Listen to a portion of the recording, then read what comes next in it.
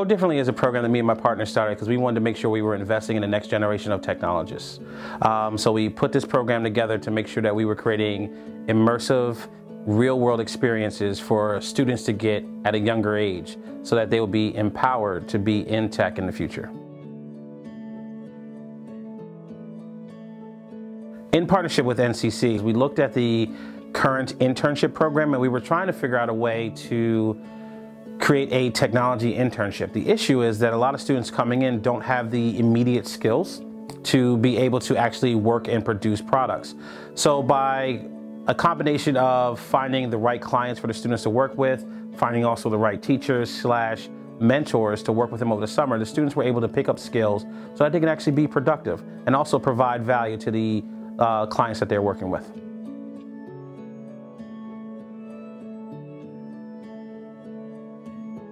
The summer program is really a pilot for the Thousand Kids Coding Initiative that we're going to push out over the county through the course of next year. Um, it's really was a, the summer programs really was a time where we can kind of look at what are the things that the kids want, what are some of the areas that we really need to focus on to make sure that we don't have a lot of time to spend with the students, but we want to make sure that everything that we're doing is impactful and also focused on real world workplace skills.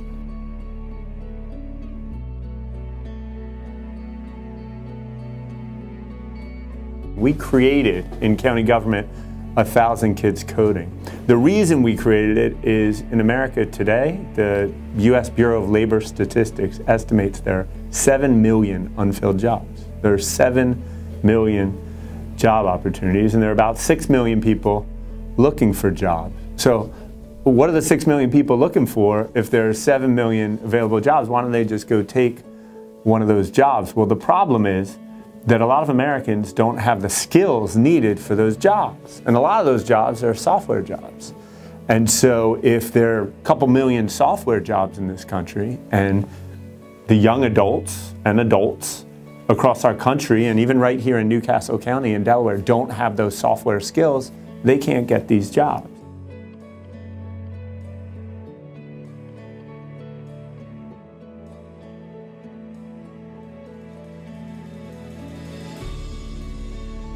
By the time they finish this program, which is just one summer, by the time they're done, these students will have skills that they can leave with, that they can sell to the market. They'll have marketable skills where they can go and offer services to the marketplace.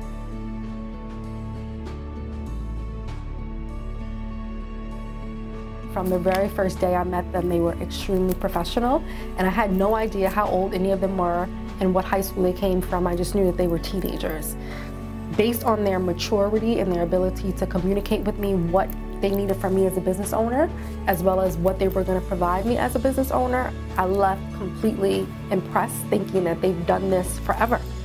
Today, I had the first opportunity to really get to know them a little bit personally and find out what schools they went to, how old they were, and I was completely taken aback because I was under the impression that they had been coding for some time prior to meeting me, and they had been a part of this lifestyle and this career for some time and this was something they were interested in pursuing.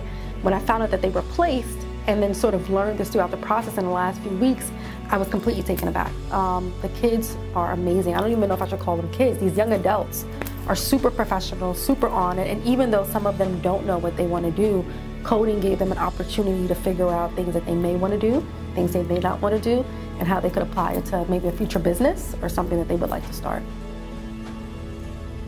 before I was in coding, I had no knowledge of coding at all. It was really just uh, unfamiliar to me.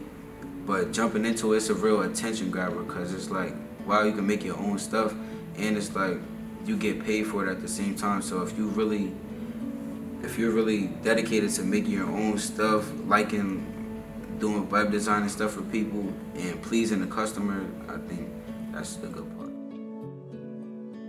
I don't think I would have ever looked at coding as an option for me before this program. I don't even think I probably would have got introduced to it without this program.